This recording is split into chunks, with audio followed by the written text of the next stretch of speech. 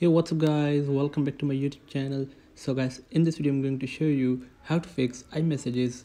imessage not activating on iphone or ipad. So guys let's get started this video without wasting any time. So guys first of all turn on airplane mode and turn this off again.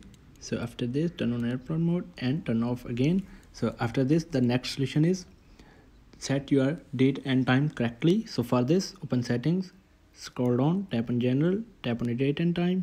So if your date and time is incorrect. So correct your date and time and set automatically here. So go back now and then after this restart your iphone. So for the restart iphone tap on power button and volume up at the same time. So drag the slider to power off and so after restarting your iphone open lock screen here. And then the next solution is log into imessage using the same account as your Apple ID. So open settings here, scroll down, tap on messages. So sign in your Apple ID here.